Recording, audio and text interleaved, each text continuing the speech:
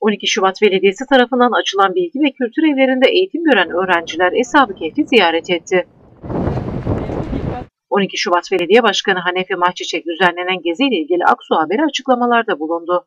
Bizim kurslarımıza devam eden, TEOK sınavlarına hazırladığımız kurslara devam eden çocuklarımızdan derece yapanların içerisinden seçtik. Onları da Ashab-ı Kehf'e götürdük.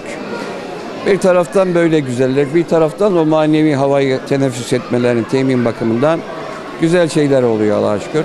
Ben bu bağlamda emeğe geçen çalışma arkadaşlarımıza da teşekkür ediyorum. Tekrar çocuklarımızın gününü, bayramını kutluyorum. Gezi'de öğrenci kafilesine başkanlık eden 12 Şubat Belediyesi Kültür ve Sosyal İşler Personeli Zafer Bertizlioğlu, Eshab-ı Kehf ziyaretinden dolayı öğrencilerin mutlu bir şekilde buradan ayrıldıklarını ifade etti. 12 Şubat Belediye'mizin e, kültür projelerinden bir tanesi olan e, 12 Şubat ilçemiz sınırları içerisinde bilgi ve kültür evlerimiz mevcut.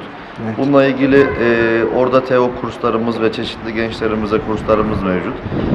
E, 23 Nisan Ulusal Egemenlik Çocuk Bayramı e, kapsamında ve Miraç Kandilimizin ayrıca Turizm Haftası kapsamında Sayın Başkanımız Hanefi Mahçiçek Beyefendinin gençlerimize bir armağanıydı bu gezimiz.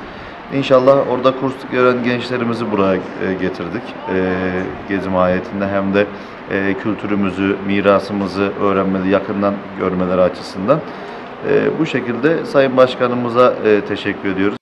Sosyolog ve rehber öğretmen Rümeysa Belverenli ise öğrencilerimizi TEOK sınavı öncesinde hem moral hem de bilgilendirme amaçlı Eshab-ı Kehf Külliyesi'ne getirerek ziyaretlerini sağladık diye konuştu.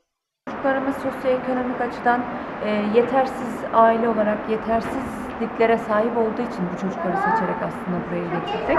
Yani buradaki amacımız e, daha çok buraya arabasına binip de gelebilecek öğrenciler e, statüsündeki öğrenciler değil, daha çok başkanımızın da e, istediği şekilde, istediği doğrultuda e, ihtiyacı olan, daha çok buraları görerek bir bakış açısı edinmesi gereken öğrencilerimizi buraya getirmeye çalıştık. İki gün sonra TEOK sınavına girecek olan öğrenciler aynı zamanda çocukların verimliliğini artırma, kurstaki başarılarını e, daha çok perçinleme adına e, bir motivasyon gezisi de denebilir. Konuşmaların ardından Afşin Belediyesi rehberi Ramazan Kıraç, 12 Şubat Belediyesi tarafından Eshab-ı Kehf'e gezi için gelen kafileyi tarihi mekanı gezdirerek yedi uyurların hikayesini anlattı.